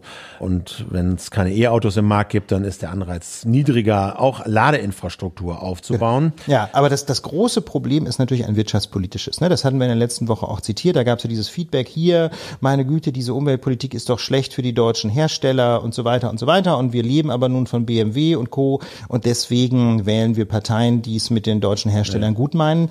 Und da muss ich ganz ehrlich sagen, da bin ich sehr am Zweifeln, ob das überhaupt einfach nur vom Befund her stimmt. Denn die Schwäche ähm, auf den Heimatmärkten, ja, die Schwäche beim Verkauf von E-Autos, die fällt den deutschen Herstellern international voll auf die Füße. Das war zuletzt zu besichtigen bei der Automesse in Shanghai, wo die deutschen Autohersteller nach Bekunden aller Zeugen extrem schlecht ausgesehen haben. Da muss man wissen, 25 Prozent der Neuzulassungen in China sind mittlerweile elektrische Autos. Ein oh, wow. Viertel der neu zugelassenen Autos in China sind mittlerweile elektrisch. Die deutschen Hersteller haben mit fossilen Antrieben einen großen Marktanteil in China. 20, knapp fast 20 Prozent. Bei den elektrischen Autos ist ihr Anteil 5 Prozent. Also weit hinter dem, was Sie aus den fossilen Märkten gewohnt sind. Unter den zehn meistverkauften Elektroautos in China ist keiner aus Deutschland, keiner von der deutschen Marke. Tja, mit anderen Worten, die zögerlichen Anreize für E-Mobilität schaden nicht nur dem Klima, sie schaden nicht nur dem Anteil von E-Autos am Autoverkauf insgesamt in Deutschland. Nein, diese zögerlichen Anreize haben auch dazu geführt, dass deutsche Hersteller die Wende weg vom Verbrenner lange Zeit verschlafen haben und nun gibt es einfach sehr viel Konkurrenz, zum Beispiel aus China, und diese Konkurrenz zieht an den deutschen Herstellern vorbei. Aber das Problem ist eben nicht, dass der Wind sich gedreht hat und jetzt der Trend hingeht zur E-Mobilität. Das Problem ist, dass die Politik in Deutschland es völlig verpennt hat, die entsprechenden Anreize zu setzen und deswegen die Hersteller viel zu spät aufgewacht sind. Also ich persönlich fahre sehr gerne auch ein deutsches Elektroauto. Ich mache jetzt mal keine Schleichwerbung. Ja, also ich würde nicht mehr sagen, dass die schlecht sind, aber sie sind einfach spät dran und chinesische Hersteller oder Tesla oder so die sind halt einfach technologisch eine ganze Ecke weiter. Und da kann man wieder sehen, nein, es ist eben nicht richtig, einfach keine Vorgaben zu machen, die Dinge laufen zu ja. lassen, sondern Industrie braucht klare Vorgaben, sonst funktioniert ja. es einfach nicht. Aber das sieht man ja auch, Wärmepumpenhersteller Fissmann wird jetzt verkauft, weil er zu spät aufgewacht ist mit den, mit den Wärmepumpen, hat halt jahrzehntelang Gas gemacht. Warum hat er Gas gemacht? Natürlich, weil es auch betriebliche Fehlentscheidungen gab, aber er war eben in einem Kontext, wo alle gesagt haben, wo die politischen Signale klar waren, wir bauen eine zweite Pipeline nach Russland, Gas bleibt billig, kostet irgendwie nichts, das wird sich auf die nächsten Jahrzehnte auch nicht ändern und so weiter. Das waren die Ansagen und deswegen haben die halt diese Entscheidung getroffen, die sie getroffen haben. Wären die Ansagen andere gewesen, so wie sich jetzt das ja ändert, ändert sich auf einmal die Firmenpolitik. Und bei deutschen Autos, glaube ich, ist das ähnlich. Das war's für diese Woche. Ganz herzlichen Dank für eure Aufmerksamkeit. Wir hoffen, ihr hattet Spaß mit der Lage der Nation. Wenn es euch gefallen hat, freuen wir uns über ein paar Sternchen in der Podcast-App eures Vertrauens. Und denkt dran, es gibt ein E-Bike zu gewinnen bei unserer Verlosung unter allen Menschen, die ein Lage Plus haben. Bis ganz bald. Schönes Wochenende und tschüss. Schönes Wochenende. Macht's gut. Bis nächste Woche. Tschüss.